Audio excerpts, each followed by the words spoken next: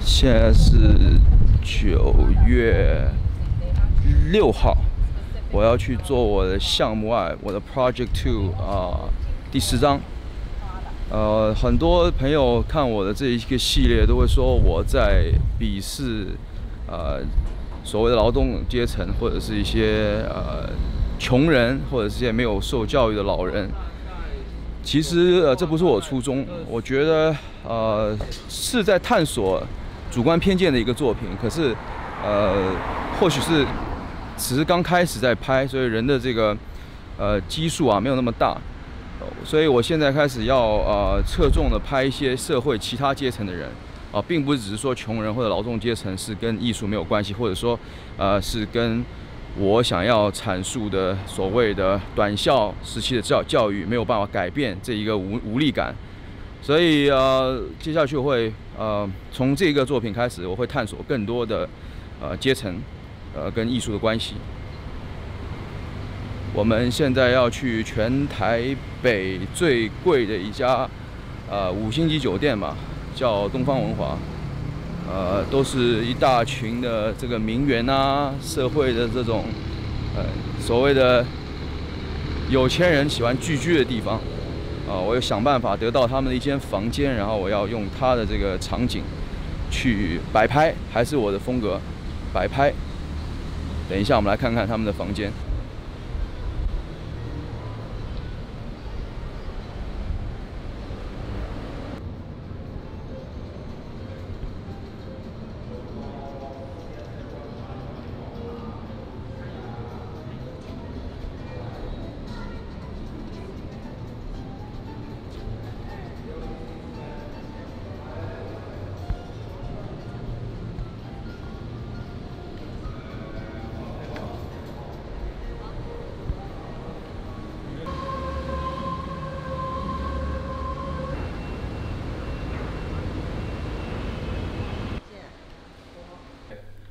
好，我们现在来到这个文华酒店的高级套房的呃室内。那我们现在可以看到这些啊，就是就是我跟大家有讲过，这就是标准的 decorative art，就它是为了配套整个画面的，就是整个呃房间风格，然后所以产生的好像是一种艺术品，其实是啊完全没有任何艺术性质的这种，我们叫 decorative art。啊，包括这些看上去好像哦。我也不知道什么东西，反正看上去很搭调这种风格，这种装饰艺术，所以它跟 Fine Art 有很本质的区别，就是它的服务范围不是为了启迪人类的，而是为了服务这个空间，要把它变得好看。所以这个就是我所说的，一直在强调的，什么是 Fine Art，什么是 Decorative Art。好，然后我们到这个房间看啊，我主要取取取样的这个位置是呃取景的这个位置是这个房间的一个床，好，然后我等下自己会成为 model。来拍一下这个作品，然后我选到的这个，今天我拿到这个用来做封面的，呃，用来做这个看的这个刊物啊，很有意思，是很有争议的人行的作品。那嗯，我觉得它东西是有点激进的，但是呃，感觉就好像很适合有钱人看一下，呃，因为我觉得之间的产生的隔阂是永远没有办法被磨灭掉的，而且不可能说你几看几页就可以看得出来。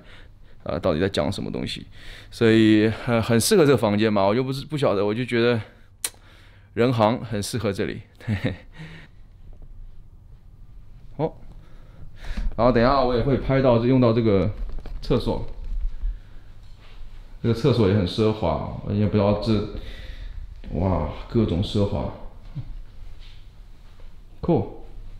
还有第三个就是，嗯。主要会用到这个椅子，这个椅子也是，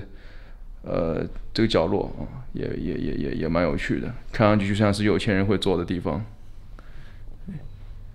OK，好，等下来看一下我到底拍了什么东西。